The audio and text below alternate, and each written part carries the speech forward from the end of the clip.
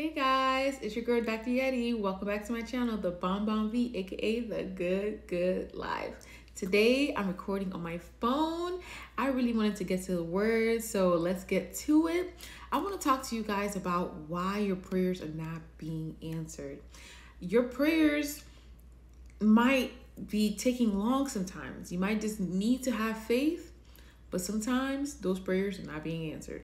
Matthew 7, verse 7 Ask and you shall receive. So we know that whatever we ask God for, we will receive it. But what exactly are we asking God for?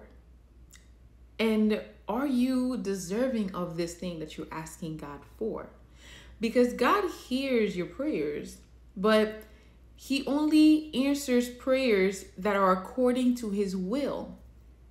Okay, so First John 5, verse 14 says, and this is the confidence that we have in him that if we ask anything according to his will, he heareth us. Are you asking God to put the desires in your heart that are according to his will? Sometimes God places desires in our hearts, but sometimes those desires are not from God. Those desires could be from the enemy. It could be from things you see your friends doing. It could be things you see on TV, on social media. Are those desires in alignment with the will of God? Because God's will will be done on earth. There's no question about it. So, are your desires in alignment with this will that God has in store for you? If not, you need to pray to God that God removes desires from your heart that are not in alignment with His will, and that He only places desires in your heart that is in alignment with His will. Are you obedient to God? Do you follow God's laws? His commandments? Do you have conviction in your heart for something that you're doing right now, but you continue to do it? So are you willfully sinning? Willfully sinning, unrepentant sin. Are you hearing God? God God talks to us every single day. Sometimes we don't have that ear to hear because we are not we don't have that relationship with him. So you have to find ways, read your Bible, pray more, fast so that you can develop that relationship with him so you can hear what he says. Because I'm gonna let you know right now from personal experiences, when God tells me to do something and I don't do it, I face the consequence of not obeying him. So you have to obey him because, like I said, in um, Proverbs 28, it says, He that turneth his ear from hearing the law even his prayer shall be an abomination. This is Proverbs 28, verse 9. If you turn your ear away from God, your prayers will be an abomination. God will turn his ear away from you. If you turn your ear away from God, God will turn his ear away from you, and your prayers will be left unheard. Be repentant and ask God to forgive you for your sins. One thing that a lot of Christians say is that we're all sinners and there's no way to be completely clean of sins, which is very true. We are in nature sinners. However, are you willfully sinning? Are you sinning unrepentantly? You can't say, um, I'm going I'm going to do these vices and God is going to forgive me at the end. You're willfully sinning. Isaiah 1 verse 15 through 17 says, And when ye spread forth your hands, I will hide mine eyes from you. Yeah, when you make many prayers, I will not hear. Your hands are full of blood. Wash you, make you clean, put away the evil of your doings from before mine eyes, cease to do evil.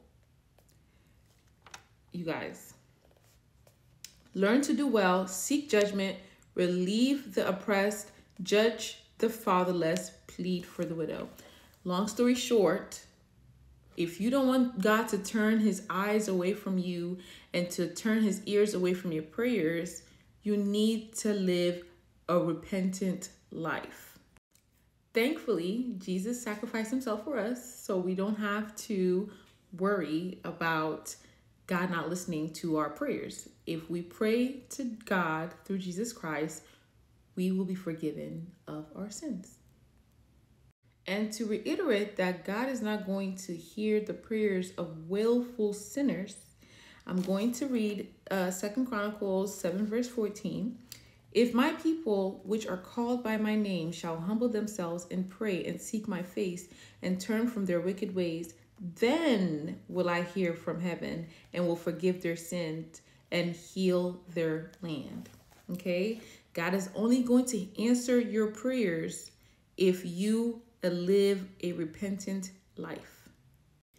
Check the desires of your heart. Why are you praying that prayer?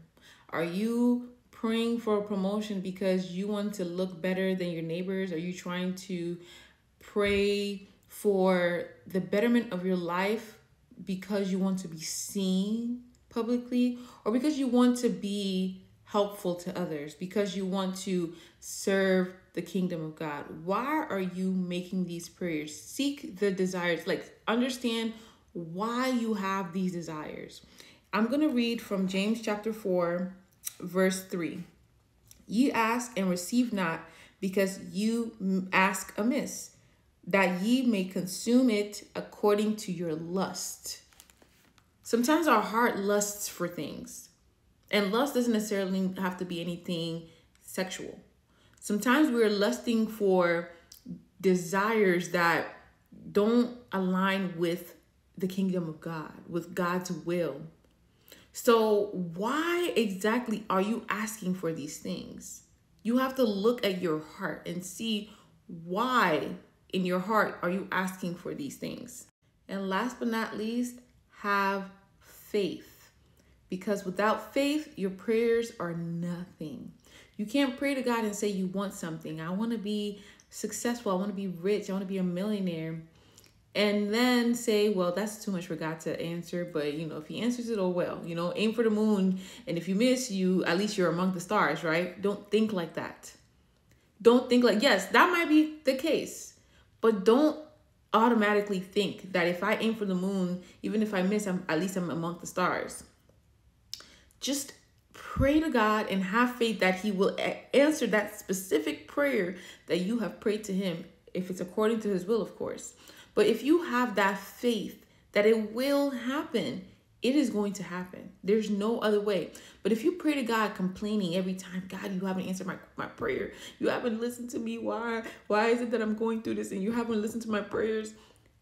Then it's going to be like, okay, well, you don't believe that I'm going to answer your prayers. So maybe I just am not going to answer your prayers. Your belief is that the prayers will not be answered. So therefore, I'm going to listen to your belief and do as you believe. But if you believe, you have that faith that it will be answered. Like you have that that faith as small as a mustard seed, then I promise you your prayers will be answered. Have you ever seen a mustard seed? It's so tiny have you ever seen a mustard tree? Do you see how a small tiny seed can produce a huge tree like that? That is the same thing as having faith. If you have faith as small as a mustard seed, that tree, that the, the result of that fruit of that uh, planted seed is going to be so grand. Let me read uh, Hebrews 11, verse 6. But without faith, it is important. but without faith, it is impossible to please him. For he that cometh to God must believe that he is, and that he is a rewarder of them that seek diligently, or that diligently seek him. So, you guys, and if we read Hebrews 11, that same chapter, verse 1, it says, Faith is the substance of things hoped for and the evidence of things not seen.